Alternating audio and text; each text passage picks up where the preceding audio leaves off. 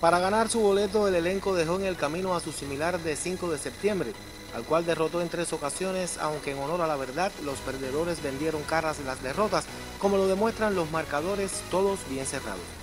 A primera hora, Ciudad Caracas venció con estrecho margen de una carrera por cero, con apenas tres imparables para cada selección, par de errores de los vencedores y uno a la cuenta de los vencidos. Luis Santana tiró la joya monticular y ganó el pulso a Girovis Mederos, digno rival. Llegaría otro éxito este con score de 4 a 2 y coincidentemente ambas novenas bateaban 7 hits. Ganó Giraidis Rodríguez, perdió Daniel Cuesta y Joandri Hernández la sacaba del parque en causa perdida.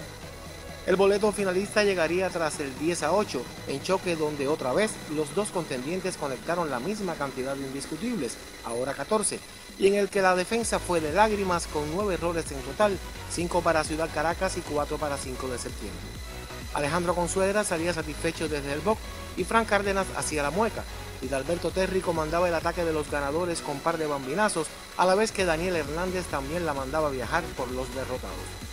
Este sábado comienza el pulso por la corona provincial con doble juego en el estadio Nico Ruiz de Rodas y el domingo se celebrará un desafío en el Reinaldo Delgado de Santa Isabel de las Lajas. El primer conjunto en ganar cuatro partidos levantará el centro.